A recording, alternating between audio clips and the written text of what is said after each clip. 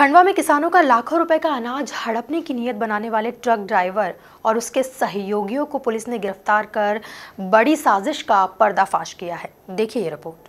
किसानों का लाखों रुपए का अनाज लेकर निकले ड्राइवर और उसके सहयोगी की नीयत में खोट आई और उसने एक साजिश रची। वाहन के पलटने और फिर अनाज चोरी होने की झूठी कहानी रच दी। लेकिन पुलिस ने इस कहानी का पर्दाफाश कर मामले में चार दोषियों को गिरफ़्तार कर लिया है।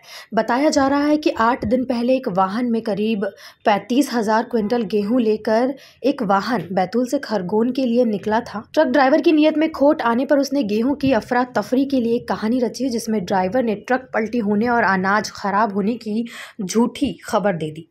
थाने आकर हमें संदेह व्यक्त किया कि इन लोगों के द्वारा माल को अफरा तफरी करने के उद्देश्य से खुदबूत करने के नीयत से ये माल कहीं गायब कर दिया इस संबंध में रिपोर्ट दर्ज की कि ड्राइवर ट्रक ड्राइवर अंजड़ के ही रहने वाले थे, इसलिए तत्काल टीम वहाँ रवाना की और इकबाल और मोहसिन को जब लाए तो और पूछताछ की गई। इनके द्वारा बताया गया कि अपूर्व अबरार व अनवर खान भी घटना में संलिप्त थे। इनके द्वारा आइसर और एक स्विफ्ट डिज़ायर के माध्यम से घटना, चूँकि घटनास्थल हमारा मेड़ा पानी जो कि थाना खालवा के अंतर्गत आता है, वहाँ था तो इतनी दूर आए और फिर ये माल आधा, लगभग तीन सौ छः कट्टे गेहूँ के भर के ले गए थे।